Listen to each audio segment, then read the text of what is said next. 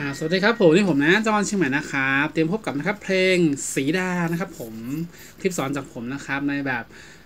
ง่ายนะครับ แบบโซโล่แบบง่ายตีคอร์ดแบบง่าย แล้วก็ในการเล่นแบบ fingerstyle intro นะครับผมแล้วนี้นะครับผมเพื่อนๆอย่าลืม Subscribe กดติดตามนะครับ like fanpage ไว้ติดตามกันด้วยนะครับ ว่าผมลงคลิปอะไรบ้างนะครับ แล้วเจอกันครับเร็วๆนี้นะครับ ผมขอบคุณมากครับ สวัสดีครับ